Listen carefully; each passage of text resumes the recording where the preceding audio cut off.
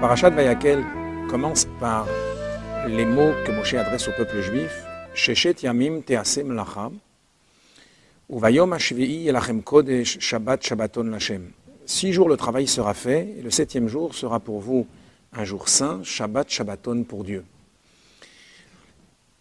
Il est étonnant de constater que le verset dit ici Sheshet Yamim Tease Melacha.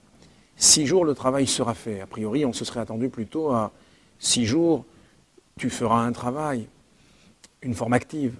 Quel est le sens de cette forme passive? D'autre part, le verset continue en disant Shabbat, Shabbaton Lachem. Un Shabbat de Shabbat. Qu'est-ce que cela signifie?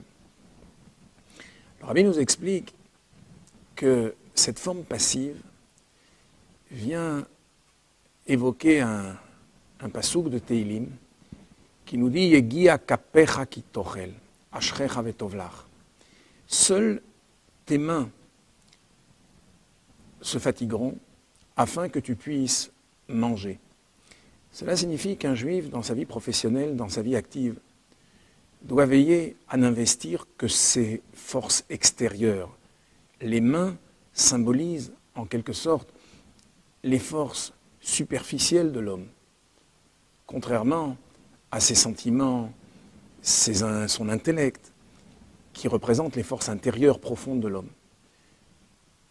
Un juif doit savoir que sa tension doit être dirigée vers la spiritualité, vers l'étude de la Torah, vers l'attachement à Dieu. Lorsqu'il va qu'à ses occupations quotidiennes, professionnelles, il ne doit investir que ses forces extérieures, de sorte que son esprit reste concentré sur sa véritable mission. Et c'est ce que David Ameller dit. Yegia kapecha, tes mains doivent se fatiguer, qui afin d'avoir ta subsistance. À ce moment-là, ashrecha vetovlach, tu es heureux dans ce monde, vetovlach, bien pour toi dans le, dans le monde futur. De sorte que lorsqu'un juif travaille de cette façon, il travaille de sorte que le travail est considéré comme déjà fait, comme si les choses allaient se faire.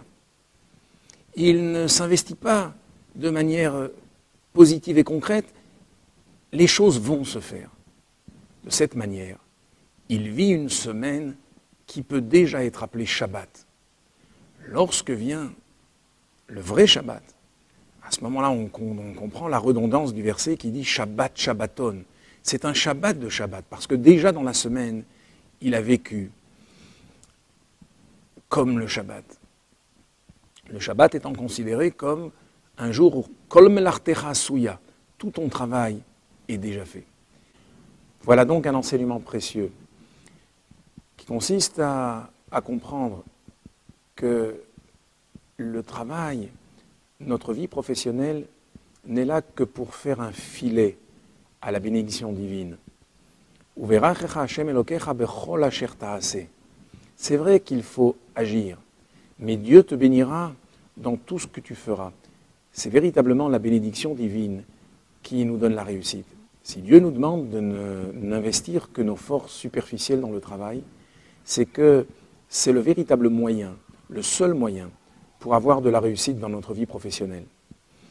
Un jour, un chassid est venu voir son rabbi et lors d'un entretien particulier avec lui, il s'est mis à lui décrire la manière avec laquelle il organisait son, commerce de chaussures, de bottes. Et le rabbi, en l'écoutant, constata que ce chassid montrait beaucoup trop d'enthousiasme dans le travail qu'il faisait. Alors, le rabbi lui a dit, j'ai déjà vu qu'on mette des pieds dans des bottes, mais mettre une tête dans des bottes, ça j'ai encore jamais vu. On voit donc que la tête d'un juif doit être entièrement dirigée vers ce qui est sa véritable mission, servir Dieu, par l'étude de la Torah, par la pratique des mitzvot. Nos activités professionnelles n'étant véritablement que le moyen nous permettant d'y arriver. Au revoir à tous.